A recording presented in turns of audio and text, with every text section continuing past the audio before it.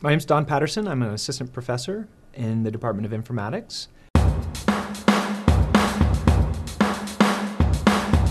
Hi, I'm Tosin, and um, I'm actually from Africa. I did my first degree in Africa, in Nigeria. Yeah, LUCI stands for the Laboratory for Ubiquitous Computing and Interaction at UCI.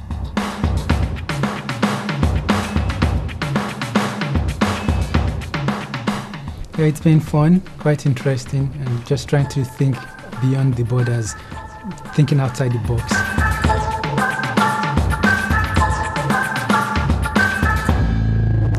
We're working on a project called Nomatic. It's um, actually a mixture of two words called nomad and automatic.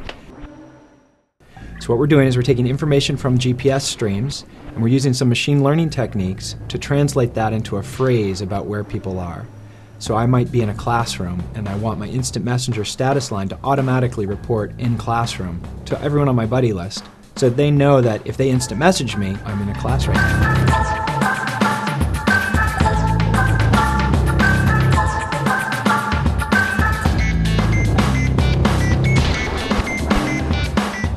Tosin and I are going to be going to Africa in a couple weeks and we're going to be looking at some non governmental organizations that are developing a network of orphanages that are helping to raise kids who have been orphaned because their parents have died of AIDS.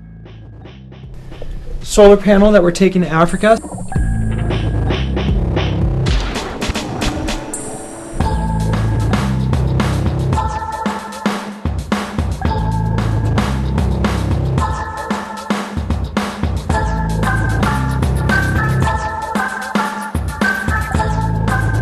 So there's the need for you to study the environment, and based on your study, you can now design um, an appropriate system for that.